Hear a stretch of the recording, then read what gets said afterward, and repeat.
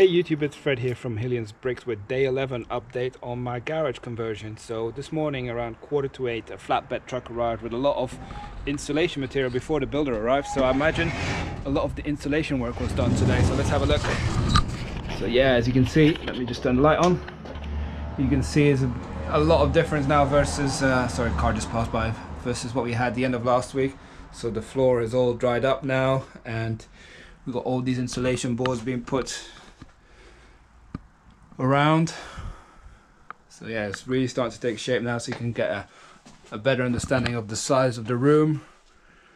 Now this is probably gonna an area where I hit my head because uh, the, the thing the floor still has to come up but it's an area where I'm gonna keep a lot of my storage and where I don't really have to go under anyway so it doesn't matter. So we see we have the holes here for some lights and another two lights there I guess. Some wires coming down so yeah, it's really starting to take shape now, so you get to understand the size of the room. So we got some more spare stuff here because I think we got to have some stuff on on the floor as well. So yeah, it's all taking really good shape, and I think later in the week we will start to see an entry into the hallway.